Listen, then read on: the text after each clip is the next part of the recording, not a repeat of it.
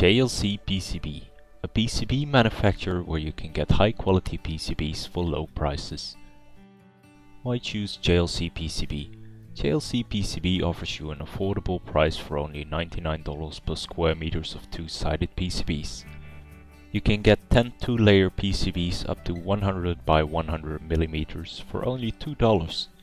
All PCBs are 100% tested and made of A-level board material with up to 99% on-time delivery.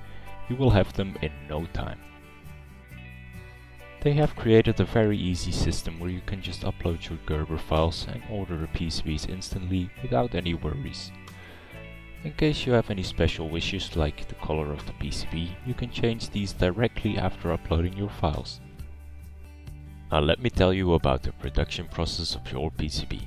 First, the Gerber file will be checked by engineers for any errors. If no errors are found, your file will be forwarded to the laser plotters and made into photomasks or films. The photo plotter takes board data and converts it into an image. After it's plotted, a sheet of board material will be cut to size and panelized. Once sized correctly, the corresponding holes will be drilled into the copper not only for through-hole components but also for vias. This is an automated process which loads and unloads the panels by itself.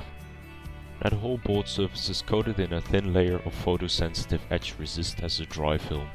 This layer is then exposed to UV light. Any areas that haven't been exposed due to the photomask will remain unhardened. It's now ready to be baked to increase durability. To increase the thickness of the remaining copper, a process called electroplating will be used to exposed areas and inside plated through holes. The exposed areas are then plated with a thin layer of tin. Now the board surface will get etched. Etching will remove all unwanted copper foil from the board which leaves you with a board which is starting to look like your own CAD design. Now it's time for the final inspection. This is being done by an automated process. It will detect faults such as tracks with over-etched edges or regions where photoresist has been scratched or chipped. They use this method since it's hard to detect these faults with an electrical continuity test. Time to apply the solder mask. An epoxy coating is applied to the bare circuit board to prevent accidental solder bridging and protect them from the environment. By default, this coating is green, but you can choose from a wide variety of colors as well. Once your board has the desired color, it will go into a special type of inkjet printer, which will apply a silk screen using white etch resistant ink. This will be done so customers can understand their board's component layout.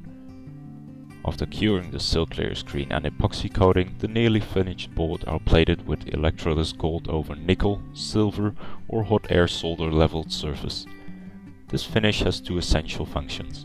The first one being protecting the exposed copper from corrosion and to provide solderable surface when soldering your board.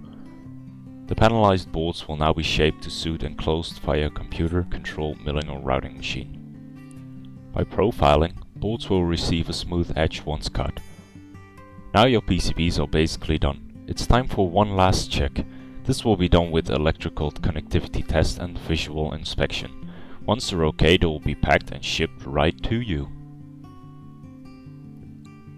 Due to the large range of options, you will most likely succeed every time. From PCBs up to 6 layers with a max dimension of 400 by 500 mm, the possibilities are endless.